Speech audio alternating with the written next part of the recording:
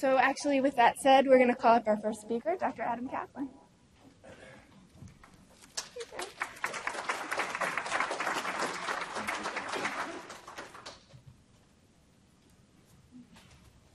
Great. So thank you all for coming out here. Obviously, we know it's a big commitment to get up and get going and come here. I did want to start off by giving a special thanks, um, you know, to uh, Carlos, Michael, and Maureen, um, and let you know that it, these guys work incredibly hard, and um, yet at the same time, I can tell you it really is like a family, and they not only work really hard, but they also really make it a, a, great atmosphere to work. I hope you guys feel a part of this sort of uh, extended family. And I will tell you that we had to actually, just so you know, um, uh, kidnap Maureen because she was still here at 9 o'clock last night preparing for the symposium. So a group of us had to kidnap her and get her to go out and have some dinner. So she really worked incredibly hard to make this possible. Um, and, uh, and I also want to, just so I don't forget, uh, thank Daniel Becker, who's been a remarkable um, collaborator. And I'm going to tell three stories here. The third story is one that um, he should be here beside me to tell because it's one we uh, did together with um, this person you probably don't know, Cody Unser. She's anyway. She's oh wait, uh, there, there's Cody in back hiding. So Cody could also. Um, uh, be up here uh, as well for that part. Okay, so with that in mind, um, I am a psychiatrist, and I guess the question is, what's a psychiatrist doing in a place like this? It reminds me of the joke: um, How many uh, psychiatrists does it take to change a light bulb? Answer is just one, but the light bulb has to want to change. So, so um, it has been a privilege to work um, as a member of the Transverse Myelitis Center. Um, I'm just, you know, this is just going to go rather quickly to get through three stories in the time I have so that Janet doesn't start sort of getting the hook and pulling me off stage. But so transverse means across, uh, meaning affecting both sides of the spinal cord. Myelitis means inflammation of the spinal cord. And as you guys know, I don't, you know, have to tell you guys this, but it, you know, this is the, the, the spinal cord is basically all of the, the cables that convey all the information that comes out of the brain going to the body, uh, and depending where you get the lesion in the spinal cord, you get everything below it. So you know you can see that this says here it's actually quite small there. Uh, you know, so you get legs here, sexual function, um, uh, hand, fingers, and as you go up all the way up to breathing, and wherever you get the lesion, it can potentially affect everything below that.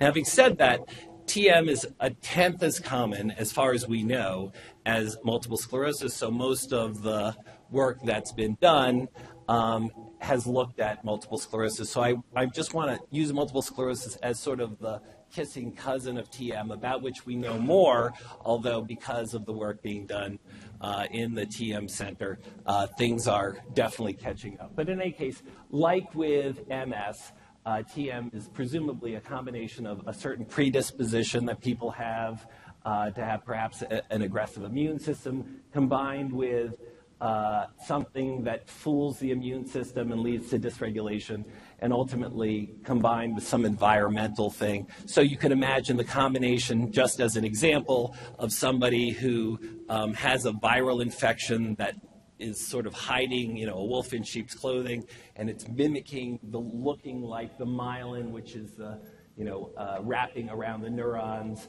Um, and then the, the immune system gets fooled into attacking that virus, but now it also will attack the myelin. And then something happens that leads to a breakdown of the blood brain barrier. Could be as simple as, you know, a whiplash or something like that. And then you could imagine you'd be off to the races once the immune system got uh, going. So that's just sort of a quick overview. And um, it's important to know that, um, that one of the stories I'm going to tell is that traditionally TM has been thought to be a strictly below the neck kind of thing, and I'm an above the neck kind of guy. So, what I'm going to try to explain is how we have more and more evidence to say that the brain is actually involved too. Um, you know, the diagnostic criteria for TM includes seeing when you actually put uh, a needle down here in your lumbar region, seeing that there are white blood cells, even if the lesion's really high up here, you can see the blood cells down here because the cerebrospinal fluid is bathing the brain and spinal cord. So it's not so crazy to imagine that because the spinal fluid is full of these cells, that there might be brain involvement. But when we first started this, um, that wasn't known. I like to um, just talk briefly about uh, this study. This was a study that was out of San Francisco, and they just phoned up people with multiple sclerosis 10 years after the diagnosis. And they said, How has the MS affected your life? And the interesting thing about it is that um, although it's true, one in five people gave responses to say that it had created a strain in their relationship, you know, depending on, you know, other people or um, working together as a family unit in adversity, life under altered circumstances can be very trying. Uh, 30% of people said that they were demoralized. But what was really most interesting about this study, I think, is that 60% of people gave responses that really the researchers had to lump into this category. They said benefit finding, which means that these people 10 years out from the diagnosis were saying that in some way, shape, or form, the diagnosis of this neurological, autoimmune neurological disease had actually benefited them in some way. And I know what you're thinking. You're thinking California. This is before medical marijuana. So let me just show you uh, what kinds of things that they said. Uh, my friends and family have become more helpful. I'm closer to my family. I mean, the opportunity to see individuals um, who now uh, you know, men who now had to stay home perhaps more than they used to, taking care of their family, getting to know their kids in a new way, um, you know, uh, people who sort of reset their priorities, learn to be more compassionate, respectful of others, appreciate the independence and the like. And so I just think it, the important thing is not to say that you should feel great about being touched in some way, shape, or form by this uh, transverse myelitis, this uh, uh, no one would wish you know, any of these diseases on anybody, but it's not inevitable that it should alter one's course and one's life and one's goals necessarily um, in a limiting way.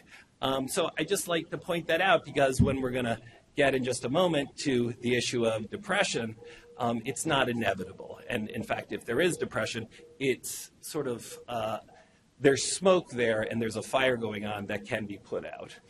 So, just to sort of give you a quick overview, this just shows us that unfortunately, and uh, mea culpa, this is a problem with psychiatry specifically, but our society in general, that not only have we not been winning the battle against depression, but this shows that over the past decade there's been a 30% increase in the suicide rate in this country. We've now reached epidemic proportions. So if you don't know about this, because it has been in the news, you should know that as a society, the rates of suicide are astronomically high in the military. More people by far are dying at their own hands than from any active combat anywhere in the world.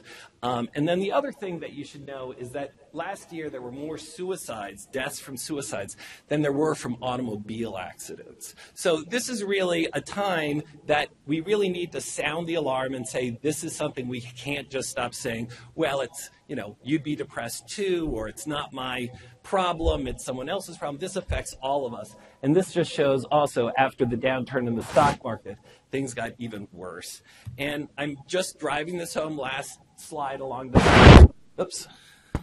But um, what this shows is that from after 2007, you saw that increase. What has happened is that it's become the third leading suicides, the third leading cause of death for our kids.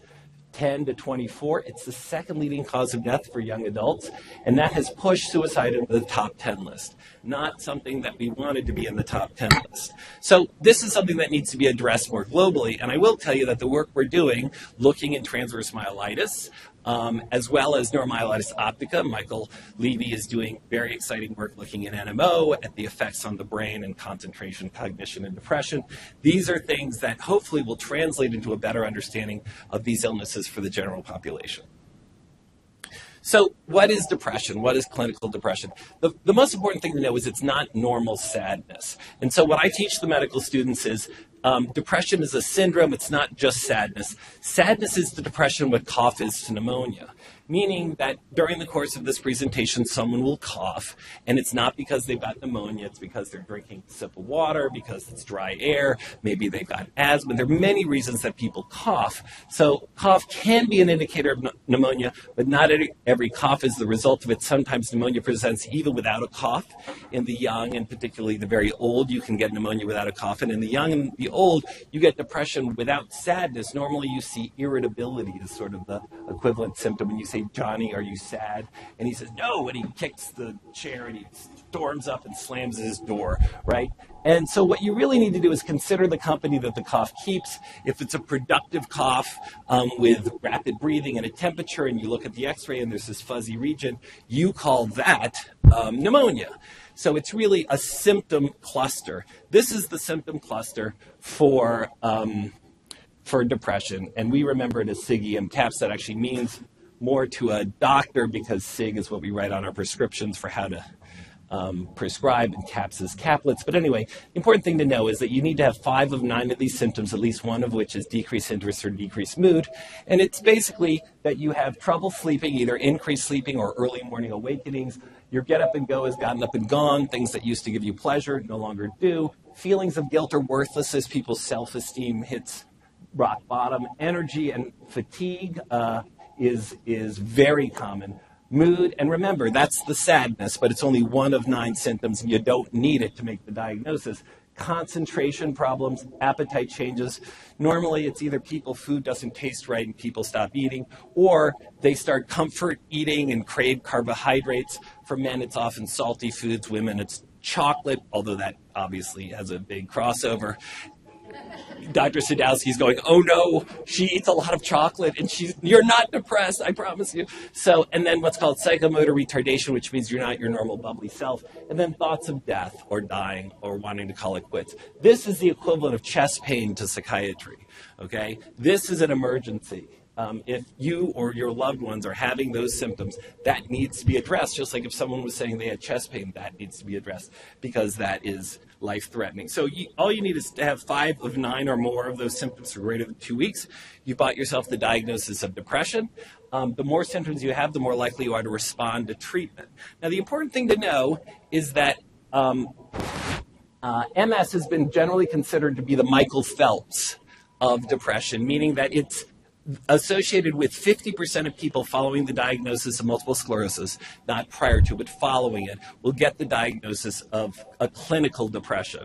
Not just, gee, you'd be depressed too, or, you know, it's that symptom cluster of all of those things. And you can see, though, that many different things cause depression, particularly anything that affects the brain, since that's where the regulator is for our moods. There is a mood regulator in your brain that um, essentially, like the thermostat in the room, if it gets stuck, it'll get quite hot here uh, or cold, depending on where it gets stuck. And there is a mood regulator in your brain. If you don't believe me, ask anybody who's ever done cocaine. Uh, that's what stimulates that mood regulator. Cocaine has no withdrawal symptoms, just people crave it like crazy because it gets to that mood regulator.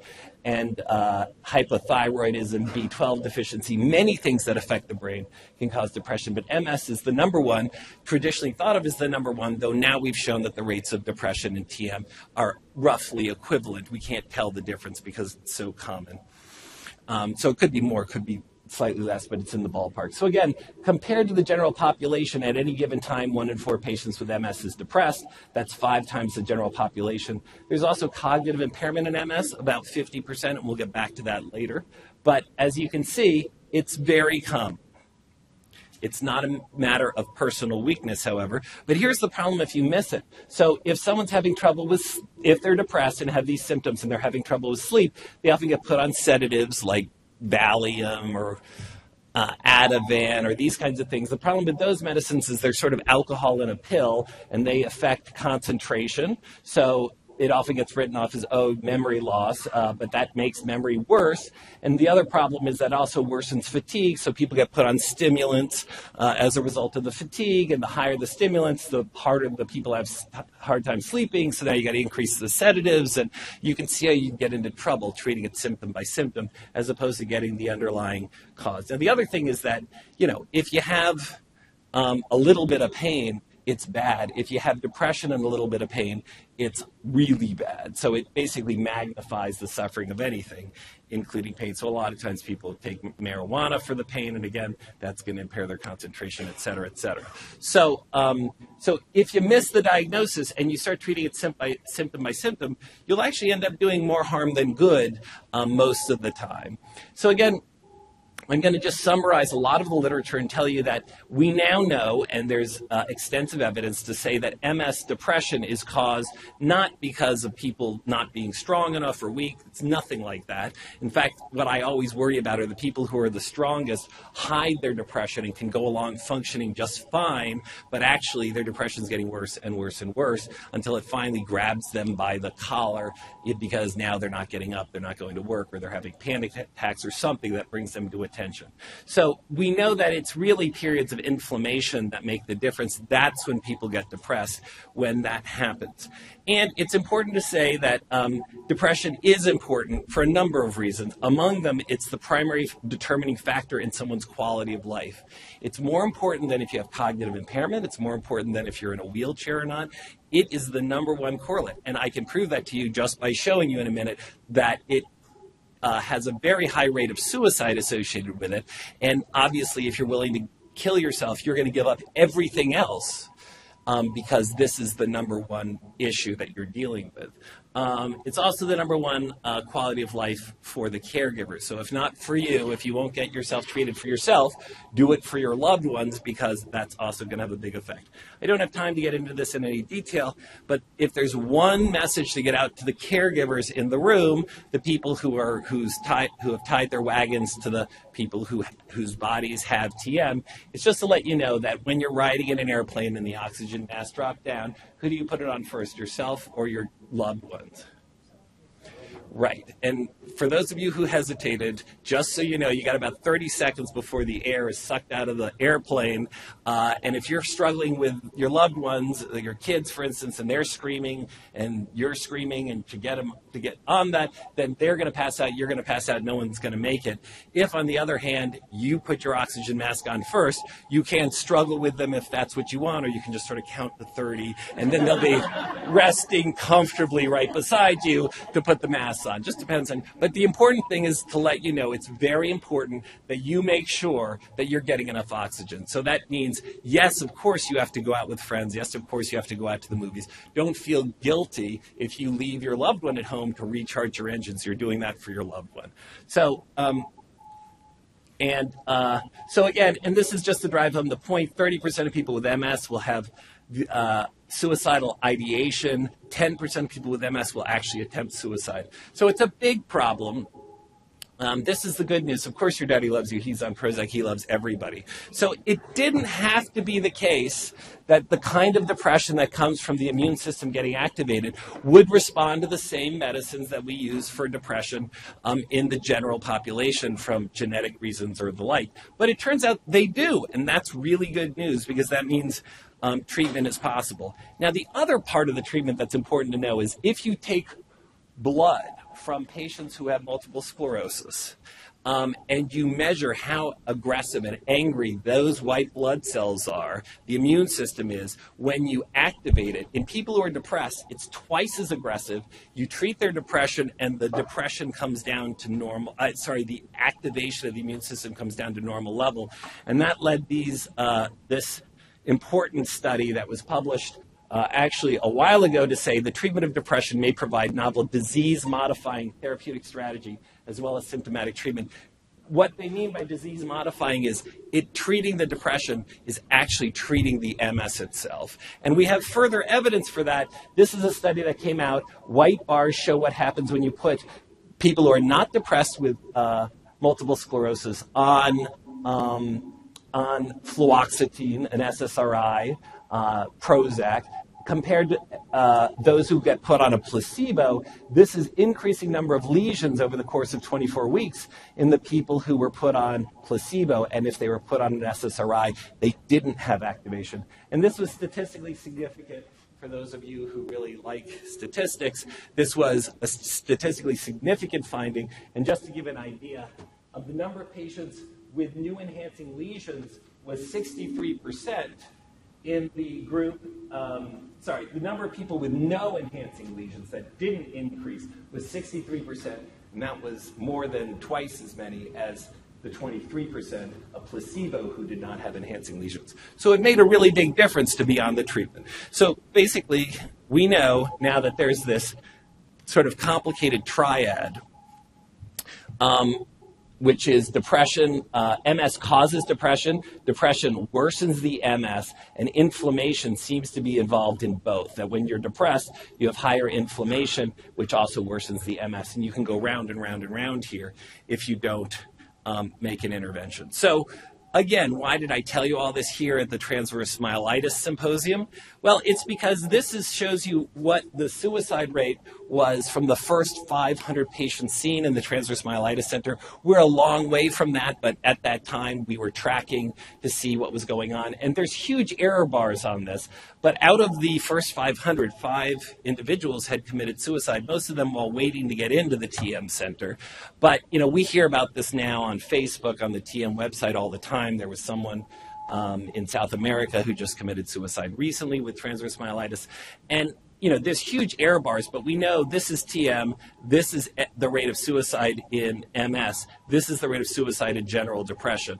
And we know that TM is at least as high, and we know the depression rates are at least, you know, equivalent to, to, to MS. So it's important, but the good news is that there's every reason to believe that with treatment, it, first of all, you could be put back to your old self in terms of those symptoms, the SIGECAP symptoms. Very hard to, you know, get many of the symptoms better, which is why there's a symposium. Uh, but multiple, uh, sorry, depression is one of the set of symptoms that really can be completely treated back to your old level of mood, energy, etc. That's being caused by the depression. So let me just switch gears and tell you that it used to be considered 30 years ago that only 3% of patients with MS had any memory problems. You know, I know none of you have ever experienced this, but we're talking about like going into the next room and wondering what you came in there for and when you used to be able to just you know have everything in your memory to just go to the phone and dial it now reading what the phone number is and remembering by the time you get to the phone what all those digits are. Those are the kinds of things that we're talking about. Usually we're not talking about, you know, really dramatic, can't remember uh, you know, um, where you live, those kinds of things. We're talking about more mild to moderate uh, kinds of memory problems. It used to be thought 3% of patients with MS. We now know it's just that we did, weren't looking. So we now know it's closer to 50%. And again, most of the people it's, who have it, of that 50%, it's mild to moderate. So what we did was, um, and this was work done with Kristen Rahn, uh, when we went to uh, CC Camp, Camp for Courageous Kids, and we just basically brought a tablet and she ran around and she had kids kids like that adorable child right there, um, Mackenzie, uh, did this. So where they just had this uh, asterisk pop up, and every time it popped up, they had to hit the screen. And then we got data back and compared that from the kids with TM to their um, to their siblings. And there was a highly statistical difference between, in this case, controls are their siblings, where the response rates were much higher, the number of responses per minute, than those kids with transverse myelitis. And if you look at the reaction time, how long it took them to, to, to respond, to the correct responses, there was statistically significant, highly significant um, differences in, in the kids with TM. Now, it doesn't mean that they couldn't do it. It just meant that they needed more time more practicing. And so the important thing to know is that people with TM, the 50% of people who do have an effect, really just need to know that it just means that now it's great if you used to keep everybody's phone numbers in your head. Now you have to do this is my brain, by the way. It just happens to sit on my waist. All my phone number I mean I, I sometimes wouldn't remember my uh, my my daughter's cell phone number if I didn't have it right here. So um, so it just means you have to sort of rely on other technologies, and it may take a few more times to learn. So just switching gears, here's the good news though. This is T, uh, this is MS. Now, interestingly, you see all these lesions in the brain of MS. People with TM don't have those lesions. However, what's interesting is now we know that they have nothing to do uh, uh, with the cognitive impairment. And if you actually look at these lesions and try to correlate them with cognitive impairment in MS, they don't correlate or very, very poorly correlate. And the reason why that is, is because even people with TM who don't have lesions still have the brain involved, still get depression, still get cognitive impairment. Um, and so we know it's not these. So the question is, what can you do if you can't rely on these lesions? And the answer is you can actually look at the chemistry of the brain. So this shows these peaks were obtained from an MRI scanner that was tuned not to water, which is what this is showing you. This is showing you water. Instead, it was tuned to look at chemicals in the brain. And I'm just going to show you this is the hippocampus, where we specifically, this is involved in learning and memory. This is affected in patients with Alzheimer's disease, for instance. And we looked at this little peak here, which was very predictive. How people did on the, the, their paper and pencil testing could be predicted correlation coefficients of, say, 0.9, where 1 is a perfect correlation, how their levels of this particular neuropeptide in the brain called NAAG, N-acetylaspartylglutamate, there's not going to be a quiz on this later, um, was highly predictive about how people would do so the interesting thing is there is a drug that can increase the level of NAAG in the brain. Um, it's not available for human use, so instead, Kristen Rahn went to the animal model um, of MS. But by the way, the animal model of MS is really same as the animal model of TM in that most of the lesions occur in the spine. It's called EAE or experimental autoimmune encephalomyelitis. Almost all of the lesions are happening in the spine, and yet they still have cognitive impairment. These mice, and you can see those animals that got placebo were running all over and couldn't find their way to this hole on day one. Um, same thing in those on day one who got this drug, 2-PMPA. However, by day four, those animals that were on placebo were still running all over the place a little bit, and those animals that got um, the drug went right for it pretty much. So you can see the path efficiency went from 0.3, where 1, 0.0 is perfect path efficiency, 0.3 to 0.75. That's over a 200% increase. And I know it looks sort of funny this way, so let me show it to you this way, which is to say right here, it's this forgetting from one day to the next that is what the problem is. So they go through four practice runs, then the next day you come in, and those animals that were getting placebo forgot. Those animals in blue here who got the drug didn't forget, and black shows you the animals that didn't have EAE. These were healthy mice without any autoimmune problems. And you can see that it gets all the way back up. This drug got the animals with EAE, the animal form of MS, got them all the, oh, wow. So here we are. I have three minutes. Um, so I'm looking at that clock. That's when I started. So, um, so you can see it got them all the way back up to how they were. And now the exciting thing is that not just what we learned in TM uh, affects all of medicine. Now we're looking at Alzheimer's disease because in Alzheimer's disease there's the same thing, low levels of this protein in the brain. Really quick, Healing Waters. This is work done with Daniel Becker uh, based on this really totally insane idea that Cody Unser had that maybe um, scuba had an effect on people rehabilitation. When she went scuba diving, she noticed these zingers. You can ask her. She's in the back of the room. You can corner her later and ask her why she came up with this crazy idea. And what you can see here is that um, Daniel and I uh, went with Cody, and Daniel did the neurological exams and showed that all of the paralyzed war veterans who'd been paralyzed for an average of 15 years had decreased spasticity after doing 10 scuba dives. All of the patients had some level of increase in sensation, up to 20% increase that they hadn't had in 15 years, and half of them got some motor function back. That's unbelievable. That was not expected. And you can ask Daniel how surprised he was because he started paging me off the hook. Adam, Adam, Adam, there's something. You know, when we got back, he looked at the data and started calling me up. So, just real quick, just to let you know, we now know that there's this particular uh, effect of the nitrogen that happens when you scuba dive leads to a dramatic increase in serotonin. Turns out the all of walking, and Daniel, you can ask about this, all of walking, the reason why chickens with their head cut off still walk, because walking is really programmed into your spine, the central pattern generator. That's why you can walk and chew gum and you don't think about it. And it turns out that um, that what we believe is going on is that the scuba uh, leads to nitrogen accumulation in the tissues and in the brain, leads to a significant increase in serotonin. That activates the central pattern generator, and that's what begins to reactivate the spine. And it's very exciting, and the reason why we haven't followed this up is that we're just waiting to get more funds to be able to go out there. We'd love to do this with patients with TM. This would be very exciting. This is what happens when you take an epidural stimulator and you do it three times a week for seven months. Remember, this was one week, and we saw these effects. If you do a stimulator where you just lead to stimulation and general release of neurotransmitters from electricity, they took someone who was completely paralyzed by a motor vehicle accident and he was able to stand up and start to bear weight and even walk after seven months with this stimulator.